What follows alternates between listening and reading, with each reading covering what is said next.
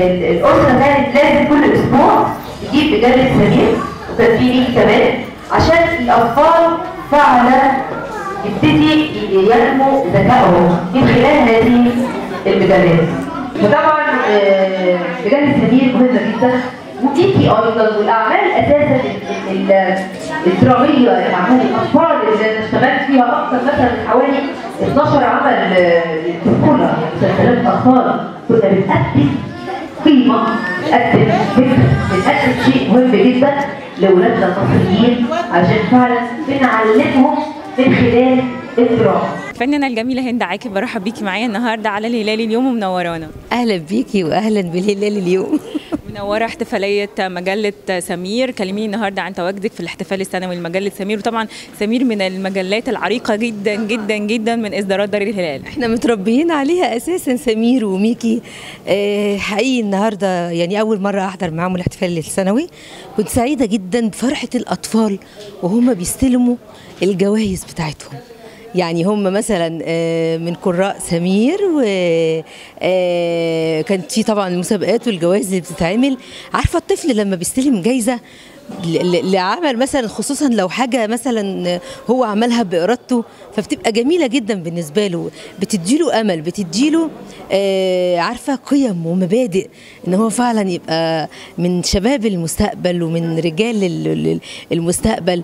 بيبقوا متعلمين بقى عارفة أنت اللي هو آه، سمير طبعا طول عمرها بتحكي حكايات جميلة. يمكن النهارده اتكلموا على بعض ال- القصص اللي موجودة في سمير.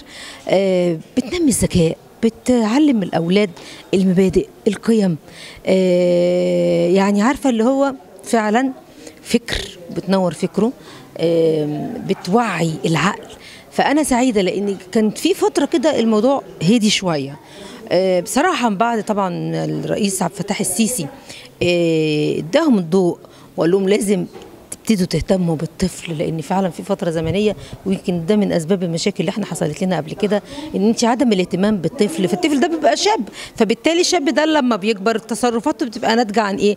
عن كل بقى ال ال ال ال ال ال الماضي القيم المبادئ اللي اتعلمها إذا كان اتعلم قيم أو مبادئ أو ما اتعلمش فطبعا يعني أعتقد إن الفترة دي مجلة سمير بقت آه، فعلا آه، ليها قيمة طبعا دكتورة شهيرة والأستاذ غالي عاملين جهد كبير جدا. حتى شكل المجلة دلوقتي اختلف. الألوان فيها الورق الطباعة كل ده بيخلي الطفل فعلا يحوش من مصروفه ويقول أنا هنزل أشتري المجلة. ممكن الطفل الأول يتفرج على الصور بعدين يبتدي يقرأ والدته تقرأ له. فيحب القراءة من خلال آه، المجلات بتاعت الطفل.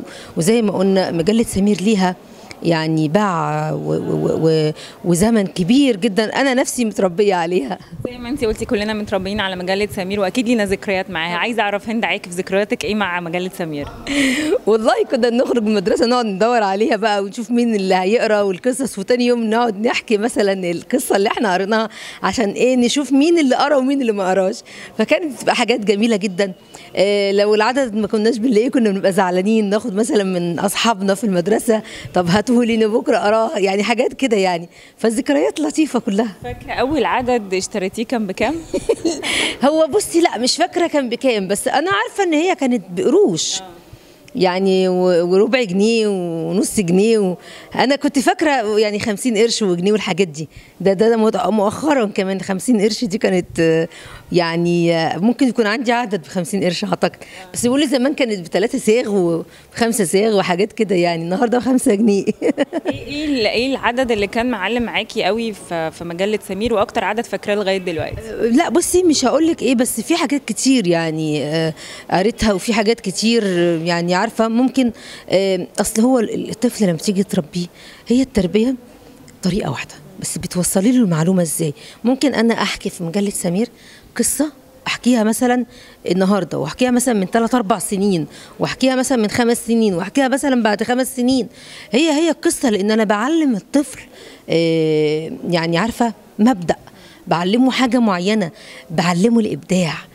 في أطفال خلي بالك بتبقى فنانين من خلال مجلة سمير وميكي فطبعا يعني أنا بحييهم على المجهود الكبير اللي عملوه وقاموا بيه في الفترة الأخيرة.